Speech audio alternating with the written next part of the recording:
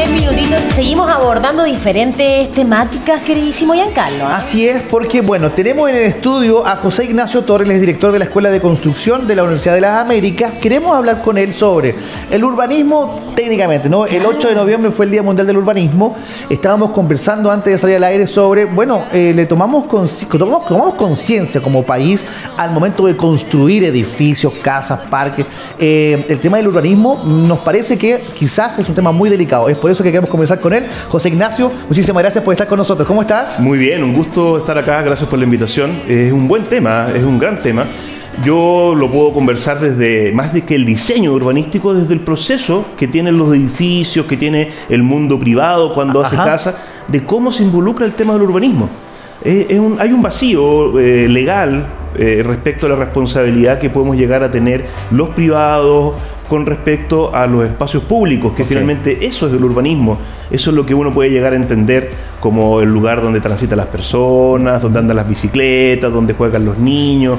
Entonces uno ve que cada vez hay menos espacios de ese tipo y que claro, se segrega en el sentido de que podemos encontrar las comunas con más áreas verdes en los lugares del sector oriente de Santiago, donde hay más capital, y los lugares donde hay menos capital son los lugares que menos plazas tienen, donde hay menos espacios para reunirse. Entonces finalmente el urbanismo tiene que ver con la felicidad de las personas, tiene que ver con problemas endógenos en la sociedad, como la delincuencia, como la drogadicción, como la apatía, un montón de cosas que tienen que ver con los espacios que uno usa en común. ¿Y se toma en cuenta, José Ignacio, eso al, al momento de crear o levantar edificios? Lo conversamos fuera de cámara, Estación Central es una cantidad, un edificio tras otro, o al ladito de otro, en una selva finalmente de cemento, y eso uno podría pensar, chuta, José Ignacio, nadie habló de urbanismo aquí, digamos. Es un, es un, problema porque finalmente el urbanismo requiere muchos metros cuadrados y si finalmente a un edificio que tiene, no sé, 2.000 metros cuadrados en un terreno, le estoy pidiendo 1.000 metros cuadrados para hacer una plaza, que es como el mínimo, una plaza de 100%, es como una plaza más bien chiquitita, es imposible es imposible para el dueño del terreno destinar la mitad de su espacio para poder hacer un espacio público si es que él quiere hacer un edificio para poder venderlo. Y está en todo su derecho. Entonces ahí hay un vacío que hace algún tiempo se intentó solucionar eh, con algún plan nacional de diseño de urbanismo o de construcción sustentable y urbanismo, pero topa porque finalmente la disponibilidad de los terrenos es muy acotada. O sea, el Estado, los gobiernos regionales, las municipalidades no cuentan con terreno como para poder eh, implementar urbanismo. Y eso en realidad atenta directamente a la calidad de vida que uno tiene como ser humano en su diario vivir. O sea, es algo preocupante, es algo que estamos viendo que efectivamente cada vez hay menos lugares con áreas verdes donde poder llevar a los niños, donde finalmente se pierde un poco con el afán de construir, construir, construir. Igualmente si lo comparamos a cómo se construían edificios, por ejemplo, hace 30, 40 años. O sea, se preveía un espacio, digamos, donde pudiese estar cómodamente una familia. Hoy por hoy, mientras más pequeños sean los espacios, más creamos se está perdiendo un poco quizás con el afán solamente de, utilizar, bien utilizar los espacios para seguir vendiendo mucho más. Y, es cierto, cada metro cuadrado de terreno cada vez vale más dinero. Tanto sí de que en las viviendas sociales, por ejemplo, vale más el metro cuadrado de terreno que el metro cuadrado de vivienda. Entonces, frente a eso, las, las, viviendas sociales, por suerte, en la concepción de sus proyectos, incorporan plazas, centros comunitarios y juntas de vecinos, pero un edificio privado una sala multiuso, un gimnasio y, unos parques alrededor, donde evidentemente uno como residente de más de 200 personas que viven en un edificio pequeño, no les alcanza el espacio como para sacar el perro, ir a conocer a alguien, pasear mm. libremente. Uno ve ciudades, eh, Buenos Aires, ahora que están tan mal los argentinos, pero tienen eso, tienen esa riqueza que salen al patio y tienen donde pasear y, viven afuera y tienen una comunidad que requiere estos espacios y, se siente. O sea, uno de los principales conceptos que tienen los argentinos como ciudadanía es su solidaridad y tiene que ver con esto de conocerse, de mm. tener puntos de encuentro, que nosotros no los tenemos. Nosotros tenemos un problema con el vecino y a patadas con el vecino. ¿Por qué? Porque no tenemos el espacio donde poder encontrarnos. Eh, Por suerte eh, existen instituciones, las juntas de vecinos, las iglesias, los clubes deportivos, los centros de madre, que generan estos espacios urbanísticos ficticios, porque no está el espacio, sino que se juntan, conversan, arman cosas pensando en el futuro de la comunidad. Pero lamentablemente eh, el Estado, los privados y todo el resto de las personas no ayudamos generando los espacios para que estos puntos de encuentro se generen. José Ignacio, entonces deberíamos eh, ver eh, la construcción quizás de un condominio, un edificio, condominio de casa, ¿cierto? Sí o sí debe estar considerado un espacio eh, urbanístico, no sé si está bien dicho la, ocupada la palabra, donde que finalmente no es privado, o sea, no debería ser privado, o sí, o igual. Mira, ahí el concepto tiene que ver con, con la propiedad. Ok. Y, y en ese sentido, por ejemplo, hay certificaciones internacionales como la LEED, que es como el alto estándar que tienen lo- los norteamericanos para construir, que te exige que tú como privado dejes espacios libres. ya. Por ejemplo, eh, el espacio o o el metro cuadrado más caro de Chile está ahí en Rosario Norte con Alonso de Córdoba, está lleno de edificios Sí. con las oficinas más top de Santiago.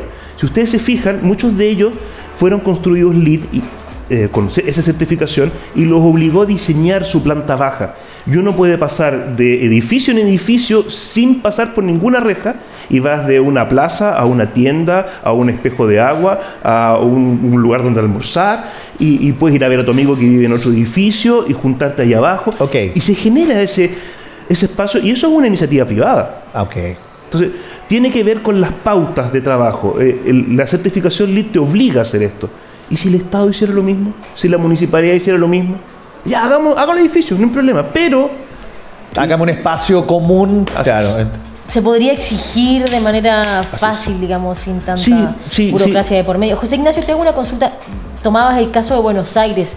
Algo que yo rescato de esa ciudad en particular, que su casco histórico está perfectamente bien mantenido, existen recursos públicos donde se mantiene, se mantiene una línea visual, cosa que no nos encontramos hoy por hoy en, en Santiago. O sea, vemos perfectamente un edificio hermoso, antiguo y al lado algo que es totalmente actual. ¿Eso tú crees que en algún momento deberían generarse políticas públicas para mantener una es. línea? es- ese es otro punto muy importante del urbanismo. Estábamos hablando de los espacios comunes y lo importante para la sociedad, pero el rescate del patrimonio es también urbanismo. Y es vital. O sea, eh, Ñuñoa, Providencia, ha sido testigo, o sea, los vecinos, o, o- o el ser imaginario llamado Ñuñoa Providencia, de cómo grandes edificios hechos por grandes arquitectos se han derribado. Premios nacionales de, de arquitectura como Kulcheski tiene un edificio que en Ñuñoa que lo derribaron y pusieron un edificio nuevo sin rescatar nada de lo que había antes. Eso en otro país es impensado. ¿Por qué? Porque evidentemente estoy destruyendo patrimonio histórico. O sea, a mí me encantaría que, por ejemplo, yo crecí en Ñuñoa eh, o, o en Peñalolén también, y las cosas que yo veía de niño ya no se ven. Las vistas grandes, el atardecer, ahora se llena de edificios, porque a caminar por Iarraza, al caminar por Vespucio, se ha transformado en algo que no es lindo. Está lleno de edificios, ya no hay que ver, ya no hay árboles, ya no hay dónde juntarse. Entonces, ese tipo de, de- de elementos tiene que ver con el rescate patrimonial también. Si tú vas a Roma y en el centro de Roma, casco histórico de Roma, decides hacer un hotel, la ciudad de Roma te obliga a que la fachada de ese hotel sea igual que todo el resto de las casas, para que se mantenga esa línea. Y si vas a romper el pavimento, bueno, repone cada una de las piedras que sacaste porque el camino estaba así y tú déjalo igual. Entonces, eso tiene que ver con rescate patrimonial, tiene que ver con cariño, finalmente, que nosotros demostramos a lo que hemos hecho antes. Tiene que ver con que yo quiero que mis hijos conozcan lo que mis abuelos me enseñaron. Fíjate lo importante de eso. Finalmente, ahí está la tradición, ahí está la patria. Tanto que hablamos de la patria, ahí está la patria, en el, en el rescate de lo patrimonial. Es como también, así como un edificio patrimonial, también lo puede ser un roble antiquísimo, también lo puede ser un río, que también llegan y pasan por encima sin ni siquiera preguntarle a la comunidad. Y un árbol, aquí en Santiago no tanto, pero en regiones, es vital Claro. para la comunidad. Ahí subió mi hijo, ahí yo estuve por con mi señora, y después, ¿cómo se lo muestro a mi hijo? Entonces también tiene que ver con eso. Oye, José Ignacio, si bajo tu punto de vista, eh, y si hablamos de las ciudades grandes de, de- de Chile, incluida por supuesto la región metropolitana, bajo tu punto de vista, ¿será que ya es suficiente lo que tenemos, por lo menos lo más céntrico de cada ciudad? Y no seguir construyendo, sino que más expandirse eh, hacia, digamos, lo- lo- lo- el exterior, digamos. No sé si me explico. Sí, Más de crecer en, de- en altura, seguir Mira. haciendo, seguir haciendo en el centro, centro, centro, sino que pensar en crear nuevas oportunidades al exterior con quizás acceso a bancos, eh, comercio, Sí. pero buenos lugares para vivir. Mira, eso tiene que ver con conceptos donde el urbanismo eh, conversa o dialoga con la sustentabilidad. ¿En qué sentido? Tener ciudades muy grandes implica transportar mucha gente. Transportar mucha gente implica mucho gasto de energía y mucho gasto, mucha producción de contaminación. A la vez el tiempo que requiere a las personas para poder ir Movilizarse. trabajo, casa, casa, pega, pega, colegio, eh, cuesta eh, tiempo, cuesta tiempo que yo no le, le quito a la familia, lo pierdo a la familia, el espacio o la oportunidad de poder cenar con mis hijos, lo pierdo porque vivo a dos o tres horas de- de- del lugar donde trabajo. Entonces, claro, crecer la ciudad, puedo decir, ayuda a que no se, se transforme el centro de Santiago en algo tan Comprimido. tan comprimido. Pero a la vez me genera ese otro problema. ¿Cómo las ciudades los, los, uh, más desarrolladas lo van generando, o los países? Es generando eh, lugares donde la gente pueda trabajar, estudiar, desarrollarse, que tengan todo cerca. O sea, donde yo trabajo, ojalá también viva. Perfecto. Entonces, eh, hay políticas que tienen que ver donde eh, la elección del colegio, eh, si, voy a, ele- si voy a elegir un colegio, tiene que ser los que están cerca de mi comuna. Cosa que aquí es más difícil porque tenemos otra tradición. Hay otra forma de ver eh, ese tipo de, de decisiones. Y está bien, pero las familias de por sí tienen que pensar también en, eso. De, efectivamente es una decisión privada donde vivo. Si voy a vivir en el centro de Santiago, todo congestionado, bueno, lo valoro como tal, tengo todo cerca, pero si no quiero eso, quiero estar más alejado, vivir en un lugar más tranquilo, que pensar muy bien dónde llevo mis hijos al colegio, dónde voy a trabajar, para no tener que atravesar toda la ciudad. Porque finalmente más el daño que hago que el beneficio, porque es un beneficio personal, pero es un daño público. Entonces, es importante que las ciudades crezcan, hay que controlar eso. Hay que controlar, porque finalmente eh, generar eh, poblaciones como, no sé, Bajos de Mena, ¿Ya? donde viven muchas personas, y lo he ido a conocer últimamente, muy impactante, eh, pero esa gente tiene que moverse, toda esa gente a un lugar de trabajo recorriendo kilómetros donde no hay muchas micros, donde ellos tampoco tienen mucho tiempo para poder hacerlo, y genero, más que una solución habitacional, genero problema, claro. una segregación habitacional. José Ignacio, y, y, digamos todo lo que estamos conversando igualmente me recuerda, ¿cierto?, que algunas construcciones en nuestro país se realizan en lugares donde no se tienen que realizar. Un ejemplo clave es lo sucedido con los socavones, ¿cierto?, en, con, con- en ese caso en particular, y me imagino que tantos otros, revisábamos igualmente al sur de Chile, en una, digamos, un camino de lava donde también se realizan unas construcciones de edificios. ¿Por qué? ¿Por qué ese tipo de cosas solo pasan en Chile, José Ignacio? Porque tiene que ver con lo mismo, eh, que finalmente el, el que quiere hacer un edificio tiene todo el derecho a serlo. El problema cuáles son las pautas para poder yo tomar esa decisión. Actualmente, eh, si yo privado quiero hacer un edificio en una calle, no le pregunto a los vecinos, oye, voy a hacer un edificio, ¿qué les parece? ¿Qué les pasa con esto? Bueno, lo mismo con, lo- con- con los lugares donde hay reservas naturales. A las personas que están a cargo de esas reservas naturales tampoco se les pregunta. Es que porque seguro que le va a decir que no. Así es. Claro. Salvo que yo eh, ingrese a la ley de medio ambiente, que es la 19.300, que solamente al- algunos tipos de proyectos, los más grandes, son los que los obligan a hacer ese paso. Y al tomar ese paso, eh, te obligan a tener que dialogar con todas las personas que tienen que ver con tu terreno, incluidas las autoridades ambientales, las de agua, las de terremotos. Por ejemplo, el, el- proyecto de- del socavón se hubiera evitado el problema si es que no tan solo me preocupo del edificio, sino que qué pasa alrededor del edificio. Entonces, el privado tiene el compromiso de construir y proteger su terreno, pero tiene que coordinarse con las autoridades públicas, cosa de que si ya voy a hacer el edificio, oye, pasa agua por arriba, te puedo producir un socavón, eso lo sabían, porque está el riesgo, están las obras hidráulicas, los ingenieros saben eso. El problema de que quién se hace cargo de generar los canales para que cuando llueva como llovió no se produzca eso. ¿El privado? No, porque él está a cargo de lo que está en su terreno. El público, bueno, el público tiene un presupuesto, no porque el privado se ponga acá, yo voy a tener que tomar parte de mi presupuesto para construir la obra hidráulica. Entonces, ¿quién manda? En Chile manda el privado, porque si el privado quiere hacerse el edificio, lo hace. Si el público se demora en hacer las obras hidráulicas o no tiene fondos para poder hacer, por ejemplo, lo que ocurrió en Curicó con este río que se desvió y pasó por encima, Sí, eso sí. también se sabía. Entonces, que hay que hacer una protección hidráulica que implica unos cuantos millones de pesos o dólares, hay que calcular el tamaño, para poder hacer esa obra, pero te evita un problema. ¿Quién la hace? ¿El, el- el privado responsable del paso del río? Seguramente no. Pero hay autoridades que sí pueden eh, de- destinar diseño, presupuesto, para poder de- decir, ah, este río se puede salir si es que llueve como no llovió hace 100 años. Y, y eso fue lo que pasó. Pasó el río y ¿quién paga eso ahora? La gente. La gente.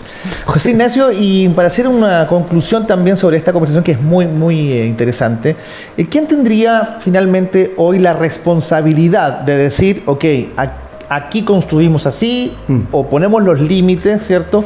Es el gobierno de turno, es el Estado, es una entidad en particular. ¿Quiénes serían las personas que debiesen, de alguna manera, o no sé si las personas, sino que eh, el departamento, la- el estatuto, que diga, viejo, así se raya la cancha? Sí, eh, eh, pasa por el Estado, evidentemente, pero eh, es un diálogo, es un diálogo. Muy bien lo planteó el, el programa que generó el gobierno de Sebastián Piñera y que después muchos han intentado eh, levantar en el sentido de generar esta coordinación entre privados, públicos, dueños de terreno, eh, científicos, universidades, para generar buenos márgenes Ok.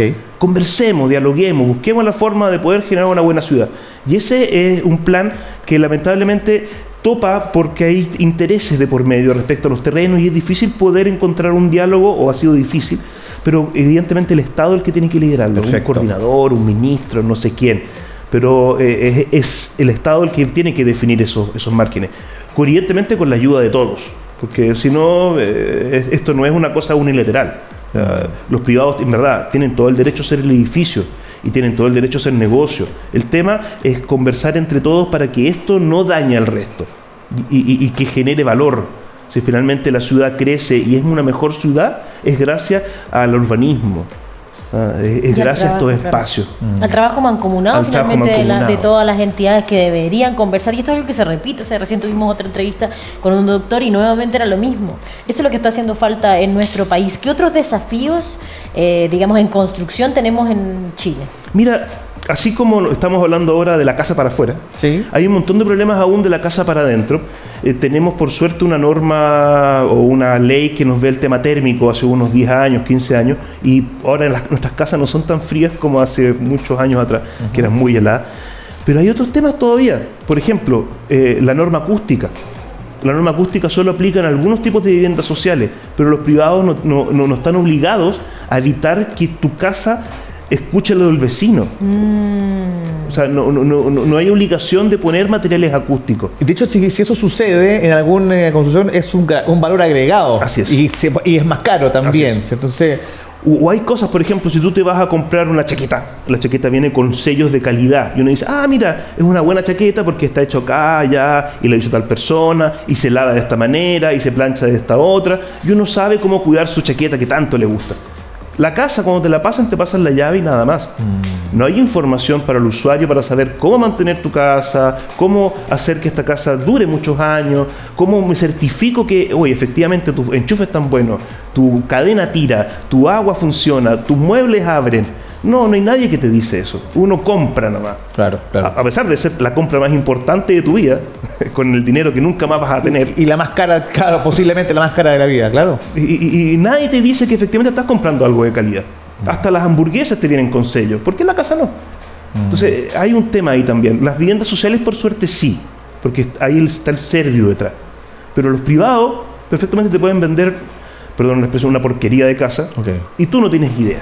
¿Por qué no eres técnico? No tienes cómo saber. Tú tocas nomás, golpeas el tabique, oye, suena, abres la llave, abre, ya, pero ¿cuánto yo sé que eso va a durar?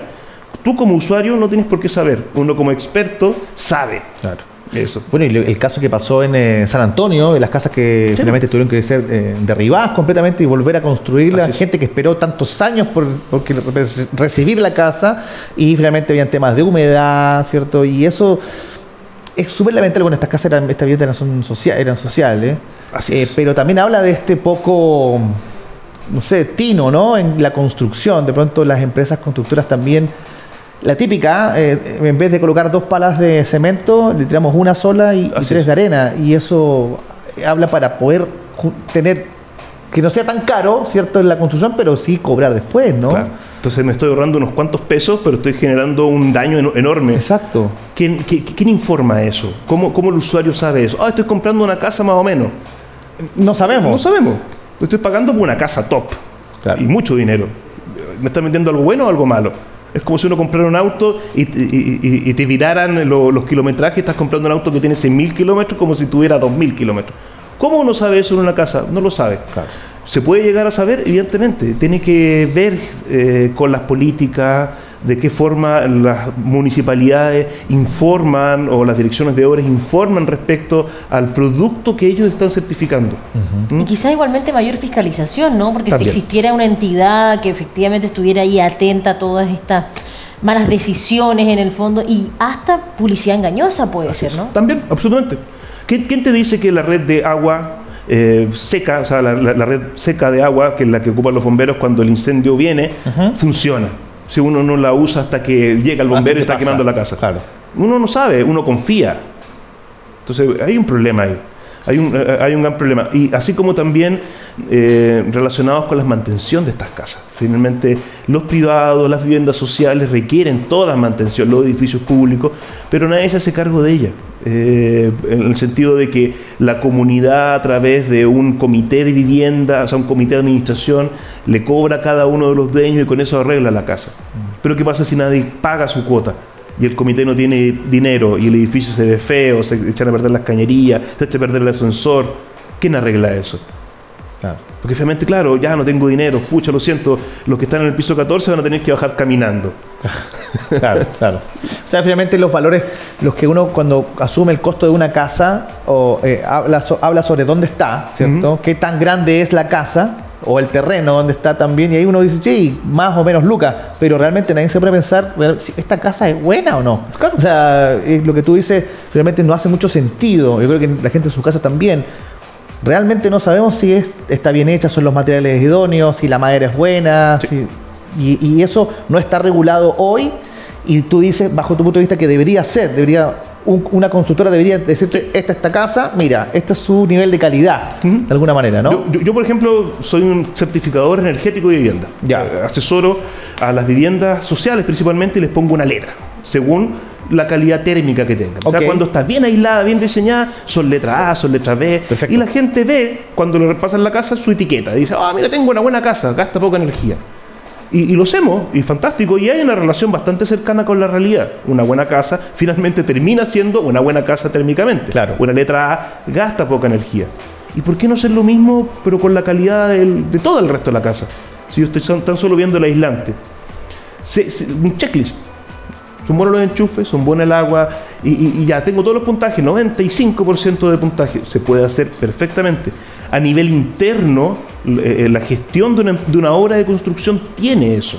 Hay sistemas como el famoso BIM, que es un software que te ayuda a gestionar el avance de una obra y te coordina las especialidades y a la vez te puede entregar información de ese tipo. Y el Estado lo está exigiendo para las viviendas sociales. Los privados, algunos lo están ocupando. Y perfectamente ese tipo de información se podría transparentar hacia la- al usuario final. Nos evitaríamos un Varias problemillas. Sí, es de verdad. todas maneras que sí. José Ignacio, bueno, eh, hemos hablado de todo un poquito con respecto a la posibilidad de una mesa redonda donde estas temáticas se abordan y, digamos, se arme un plan de acción.